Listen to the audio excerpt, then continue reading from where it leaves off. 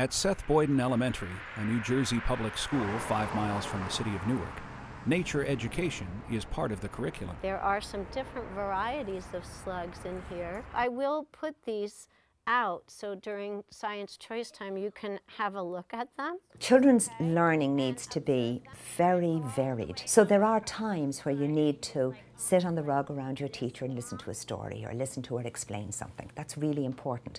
Um, but that needs to be followed by some sort of kinesthetic experience or otherwise you will lose some of the children in classroom. By bringing that wealth of outside into their learning, you get a feeling that I am a learner and look at how much I'm learning and the excitement of turning to your teacher and saying, look what I just discovered. Oh, I found something. What? Oh my goodness. It's like all mucusy down here. You did? Yeah. Oh my gosh. I see something. Ah.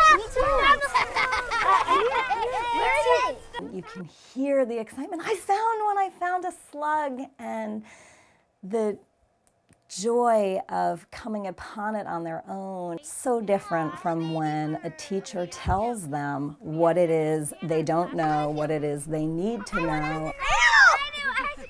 No, it's seriously gross. That one was so slimy. I think that nature is a great teacher.